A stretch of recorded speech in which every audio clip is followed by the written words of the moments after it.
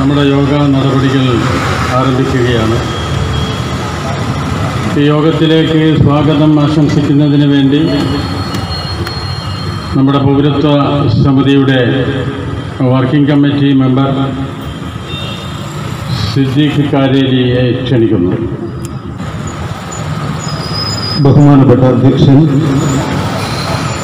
ആസാദി നീറ്റ് സംഘാടക സമിതി chairman N V C Ahammed സാഹിബിന് ഇന്നത്തെ മുഖ്യാതിഥി എസ് ഡി പി ഐ ജില്ലാ സമിതി അംഗം യാക്കൂബ് സുൽത്താൻ അവർ എന്നിൽ അർപ്പിതമായ വിഷയം സ്വാഗതം ആശംസിക്കുക എന്നുള്ളതാണ്. ആസാദി നെറ്റിന്റെ സംഘാടക സമിതി ചെയർമാൻ എൻ സി അഹമ്മദ് സാഹിബിനെ ഈ വേദിയിലേക്ക് സ്വാഗതം ചെയ്യുകയാണ്. ജനറൽ കൺവീനർ ഹക്കീം മാമ്പള്ളി മുഖ്യാതിഥി എസ് ടി ബൈ ജില്ലാ സമിതി അംഗം യാക്കൂബ് സുൽത്താൻ ഇസ്മായിൽ പള്ളിപ്പുറം ഷുക്കൂർ യു എ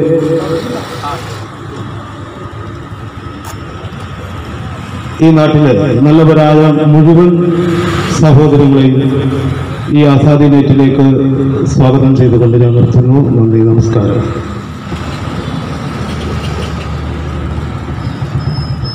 പ്രിയങ്കരനായ നമ്മുടെ മുഖ്യ പ്രഭാഷകൻ എസ് ടി പി ഐയുടെ ജില്ലാ പ്രവർത്തക സമിതി അംഗം യൂസുഫ് സുൽത്താൻ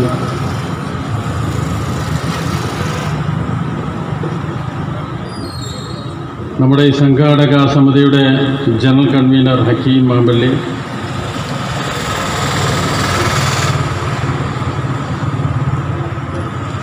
സ്വാഗതം. ആശംസിച്ച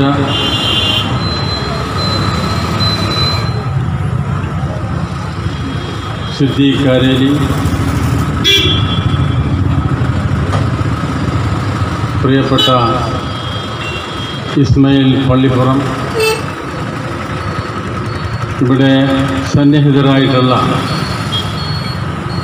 നമ്മുടെ സംഘാടക സമിതി അംഗങ്ങളെ പ്രിയപ്പെട്ട നാട്ടുകാർ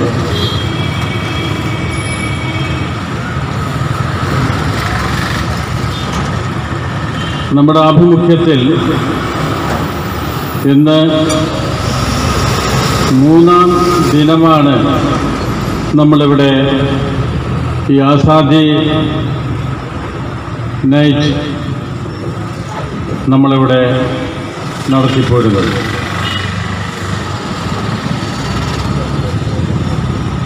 ഇന്ത്യ രാജ്യത്ത് പുതിയ നിയമ നിർമ്മാണങ്ങൾ കൊണ്ടുവന്ന ഫാസിസ്റ്റ് ഗവൺമെന്റിനെതിരെ രാജ്യമെമ്പാടും സമര പോരാട്ടത്തിലാണ് അത് ബി ജെ പി ഒഴികെയുള്ള മുഴുവൻ രാഷ്ട്രീയ സാമൂഹിക സംഘടനകൾ മതസംഘടനകൾ എല്ലാം ഈ സമരത്തിന്റെ ഭാഗമായി കഴിഞ്ഞു. രാജ്യത്ത്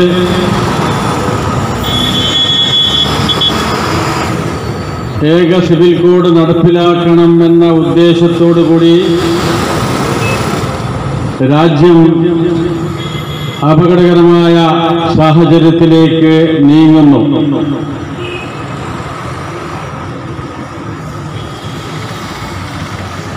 ഈ ഗവൺമെന്റ് അധികാരത്തിൽ വന്നപ്പോൾ ആദ്യമായി മുസ്ലിം സമുദായത്തെ പിടിച്ചു കൊലുക്കിക്കൊണ്ട് മുത്തലാഖ് ബിൽ അവതരിപ്പിച്ച് പാസാക്കി.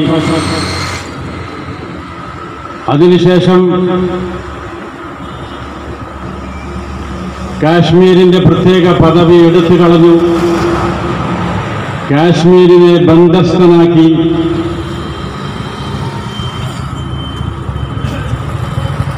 ആയിരക്കണക്കിന് ആപ്പിൾ കർഷകർ കാശ്മീരിന്റെ നിത്യ വരുമാനമാണ് അവിടുത്തെ കൃഷിയിൽ നിന്ന് ലഭിക്കുന്ന ആപ്പിൾ തോട്ടത്തിൽ നിന്നും ലഭിക്കുന്ന ആ കർഷകർക്കുള്ള വരുമാനം കർഷക തൊഴിലാളികൾക്ക് അവിടെ തൊഴിൽ ലഭിക്കുന്നു. ഇതിനെയെല്ലാം ഒരു സുപ്രഭാതത്തിൽ ഇല്ലായ്മ ചെയ്തുകൊണ്ടുള്ള പ്രവർത്തനം ഭരണം. നമ്മുടെ രാജ്യത്ത് ഉണ്ടായി പിന്നീട് വന്ന നിയമം ഇവർ നേരത്തെ മുൻകൂട്ടി പ്ലാൻ ചെയ്ത ഇവരുടെ ഹിഡൻ അജണ്ട നടപ്പിലാക്കുക എന്ന പൗരത്വ നിയമ ഭേദഗതിയായി. പൗരത്വ നിയമ ഭേദഗതി രാജ്യത്തെ മുഴുവൻ ജനങ്ങളെയും ബാധിക്കും എന്നുള്ള കാര്യത്തിൽ യാതൊരു സംശയവുമില്ല. അതെല്ലാം ഇന്നലെ വസ്തുനിഷ്ഠമായി ഇവിടെ വിശദീകരിച്ച സംഭവങ്ങളാണ്. ഇന്നിപ്പോ ഈ ബിൽ അവതരിപ്പിച്ചുകൊണ്ട് അമിത്ഷാ പാർലമെന്റിൽ പ്രഖ്യാപിച്ച ഒരു കാര്യം ഇതെല്ലാ സംസ്ഥാനത്തും നടപ്പിലാക്കും എന്നുള്ളതാണ്. ആസാമിൽ മാത്രമല്ല ഈ രാജ്യത്തെ അവശേഷിക്കുന്ന ഇരുപത്തിയേഴ് സംസ്ഥാനത്തും അതിൽ കേന്ദ്രഭരണ പ്രദേശമുണ്ട്. ഈ ഭാഗത്തു കൂടി നടപ്പിലാക്കും എന്നായിരുന്നു. രാംലീല മൈതാനിയിൽ ഇതുമായി ബന്ധപ്പെട്ട പ്രക്ഷുബ്ധമായ ഒരു അന്തരീക്ഷത്തിൽ ദില്ലിയിലെ രാംലീല മൈതാനിയിൽ പ്രധാനമന്ത്രി നരേന്ദ്രമോദി വിഭിന്നമായ അഭിപ്രായമാണ് അവിടെ പ്രസ്താവിച്ചു കണ്ടത്. മോദി പറഞ്ഞത് ഇത് എല്ലാ സംസ്ഥാനത്തും നടപ്പിലാക്കുകയില്ല എന്നുള്ളതാണ്. ഭരണവർഗങ്ങളിൽ നിന്ന് പ്രധാനപ്പെട്ട രണ്ട് നേതാക്കന്മാരിൽ നിന്ന് രണ്ട് അഭിപ്രായങ്ങൾ നമ്മൾ കേൾക്കുകയാണ് രാജ്യം കേൾക്കുകയാണ്. ജനങ്ങൾ ഈ വിഷയത്തിൽ എന്താണ് നമ്മൾ ഇത് മനസ്സിലാക്കേണ്ടത് എന്നുള്ള ഒരു അഭിപ്രായ ഗതിയിലേക്ക് രാജ്യത്തെ ജനങ്ങൾ രാജ്യം ആ രീതിയിലേക്ക് ചർച്ച ചെയ്തു. വീണ്ടും വീണ്ടും അമിത്ഷയുടെ പ്രഖ്യാപനം ഇത് തന്നെയായിരുന്നപ്പോഴും ഇന്നലെ പാർലമെന്റിൽ ആഭ്യന്തരമന്ത്രി പറയേണ്ട കാര്യം രാജ്യസഭയിൽ ആഭ്യന്തര സഹമന്ത്രി പറയുകയാണ് എൻ ആർ സി രാജ്യത്തിന് മുഴുവനും നടപ്പിലാക്കുകയില്ല ആസാം ഒഴികെ ഇന്നലെ പ്രഖ്യാപിച്ച കാര്യമാണ്. പക്ഷേ ഈ രാജ്യത്തെ ഇന്ത്യയിലെ ജനങ്ങൾക്ക് ഈ ഗവൺമെന്റിനെ എങ്ങനെ വിശ്വാസത്തിലെടുക്കും എന്നാണ് എനിക്ക് ചോദിക്കുവാനുള്ളത്. ഈ ഗവൺമെന്റിനെ ഈ രാജ്യത്തെ ജനങ്ങൾ എങ്ങനെ വിശ്വസിക്കും? കേവലം മുപ്പത്തി മൂന്ന് ശതമാനം വോട്ടിന്റെ ഭൂരിപക്ഷത്തിൽ അധികാരത്തിൽ വന്നിട്ടുള്ള ബി ജെ പി സർക്കാർ ഇന്ന് അവരുടെ കാഴ്ചവട്ടിലെ മണ്ണുകൾ ഒലിച്ചു പോയിക്കൊണ്ടിരിക്കുകയാണ് അവരുടെ സഖ്യകക്ഷികൾ ഇന്ന് അവരോടൊപ്പം ഉണ്ടോ എന്നുള്ളത് ഇനി രാജ്യസഭയിൽ ഒരു ചർച്ച വരികയും അതിന് വോട്ടിലിടുകയും ചെയ്യുമ്പോഴേ മനസ്സിലാവുകയുള്ളൂ.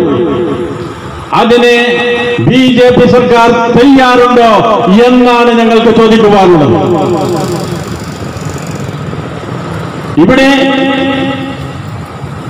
രാജ്യം വളരെ അരക്ഷിതാവസ്ഥയിലാണ് രാജ്യത്തെ ജനങ്ങൾ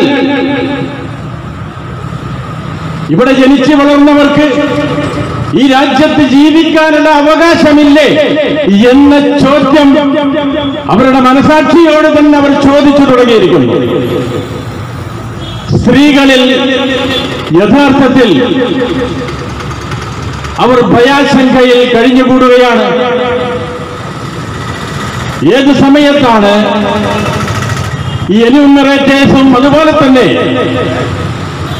എൻ പി ആർ ഈ സംവിധാനം ഈ സംസ്ഥാനത്തിലെ വീടുകളിൽ എത്തിച്ചേരുക എന്ന ആശങ്കാജനകമായ സാഹചര്യം നമ്മുടെ മുമ്പിൽ നിലനിൽക്കുന്നു.